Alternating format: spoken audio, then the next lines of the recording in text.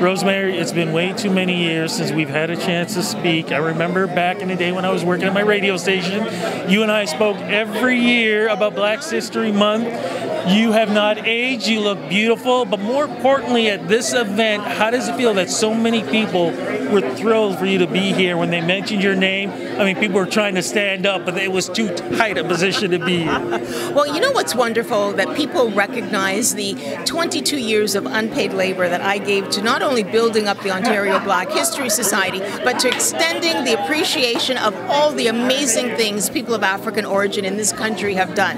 Uh, not just in terms of our history, which some people want, might want to think is kind of staid and boring, but we've been involved in everything. And when you have, um, I'm, so pleased that TD, which was the, one of the very first culture, uh, corporate sponsors for our cultural event, came on board. It really helped to make things even better, easier, because we had that security of knowing we had that bit of support to help us. But how difficult was it back then to even get this rolling to become what it is now? I mean, 90 events are going on. You got an event like the Black Diamond Ball where people are out elegant, things are going on at the harbor front. So many events, so many tributes going on. But I remember when you and I talked way back then, you this would have been unheard of. Well, let's put it this way.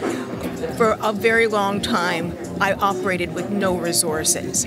And when you operate with no resources, you put on events, you have conferences, you have uh, uh, concerts, you you have balls or events that are very different because you are you have to work within a budget that you only can generate based on ticket sales.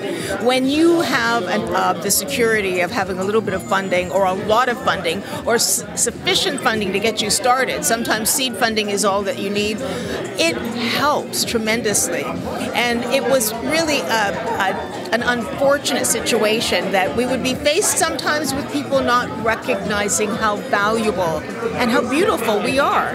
So when you have people who look like you, who get why it's important, and they can make a difference, and they do, then it all comes together like magic. What changed? What made the difference, do you think? Um, I have to really credit Al Ramsey um, with TD. When he came on board, it made a significant difference. I had been talking to other banks, in some cases for five years, constantly about getting support. And it wasn't until TD came on, first corporate sponsor I was able to secure with, you know, not that I hadn't been trying elsewhere. I that made all the difference. Um, even towards the end of my time with the OBHS, we attempted to go through and uh, secure many other corporate sponsors. The doors are still closed. And I think once people begin to realize not only that we help to increase satisfaction in the community, happiness in the community, we have funds that we can invest and use and spend in a variety of places in the community. When they invest in us, we can invest in them. What do you think are some of the, the, the changes that you've seen over the years that really touches your heart? I mean, as we were speaking, I was pulling out a $10 bill which really, I mean, when when this. I, I have been talking about Viola Desmond since my first book came out in 1993. I had the opportunity to meet Carrie Best, who was a publisher in Halifax, Nova Scotia, had 500 cups of coffee with her in downtown Halifax. She told me the story of Viola Desmond. I included it in my book, the kids' book, uh, sorry, Leading the Way Black Women in Canada, and later the kids' book of Black Canadian History, which you can still get. At any rate, the reason that I was telling people is because so often what happens, school kids are finding out about Rosa Parks, and they should. But hey, wait a minute. We have somebody who did something nine years before Rosa Parks. We have black history right here in this country. And unfortunately, some of it isn't pretty, but the reality is we have it. Um, similarly, Martin Luther King, Rosa Parks and Martin Luther King. I would go into schools to talk about black Canadian history, and that's what the students were being given. Um, so we also have now Lincoln Alexander Day and two national figures, one on our money and one a day, both black. Viola Desmond uh, reflecting those long term indigenous African Canadian roots, and Lincoln Alexander expressing the newcomer, immigrant, Jamaican, St. Vincent, Vincentian kind of a, a background. They both bring something amazing to the table. And I think it's important for us to switch it up.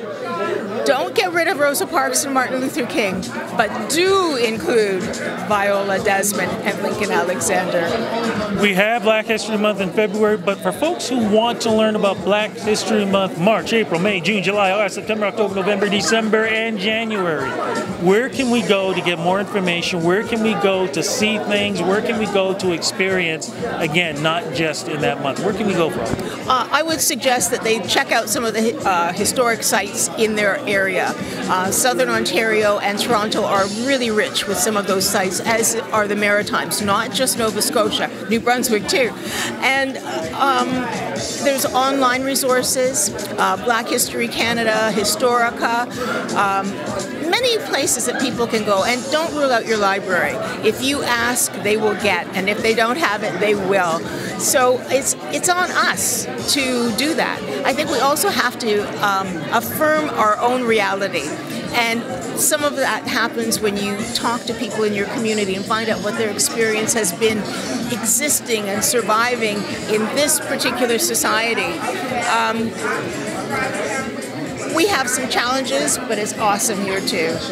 People want to get in touch with you, and if I need to get in touch with you too, where do you go? Social media. That was something we never talked about before. social media, what was that? Uh, but I have a great social media following now, and my uh, I'm on Facebook, Rosemary Sadlier, S A D L I E R, and I also have an email address, which is my name, rosemary.sadlier at gmail.com.